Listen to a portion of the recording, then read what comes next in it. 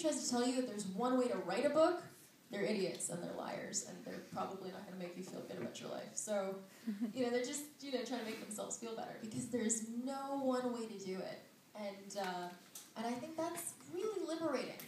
You can do whatever you want. You want to write in verse. You want to write in poetry. You want to write an entire book in poetry. One of my favorite authors is Shel Silverstein, Dr. Seuss. They're like legends. I love them. I don't know if you guys are familiar. You guys know Shel Silverstein, Dr. Seuss? Yeah, they're like the kings of children's literature. I love that stuff. I was talking to the LA Times, the newspaper in LA. I was doing an interview with them, and the lady was like, "So who are your favorite authors?" And she was expecting me to say something like really deep and intense, I think. And I was like, "Dr. Seuss," and she was like, she started laughing, and she's like, "No, but really though, like, who's your favorite author?"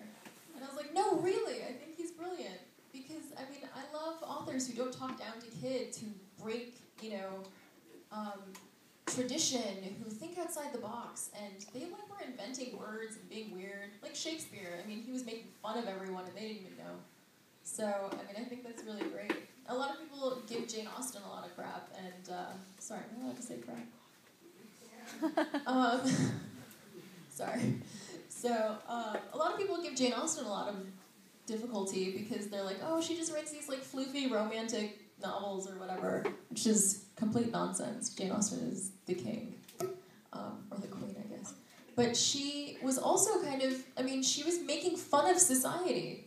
Her whole thing was like, I'm going to write these books that are actually kind of a satire, kind of mocking the stupid things that people do, the, the stupid ways that people spend their time and she was such a pioneer. And um, you know, people, it doesn't. So you can write whatever you want, and uh, and maybe you won't even be appreciated. Like Moby, you know, like Herman Melville, who wrote Moby Dick.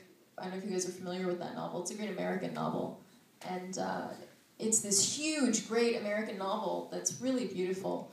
But when it was published, I mean, nobody liked it, and every, and he published it himself, and. Uh, poor guy. He like lost his marriage and all sorts of stuff. He was like he worked at the post office, and he wrote this really great, amazing book that was never appreciated until many, many, many years after he died. And he died thinking he was a complete failure, which I think is like so sad. I to be like, hey, Herman, like you're awesome. But I mean, it's you know, I just I'm trying to say that like there's some really great stuff out there that is never appreciated in its time. And I think we need to change that. I think we need to shift the way that we think about things.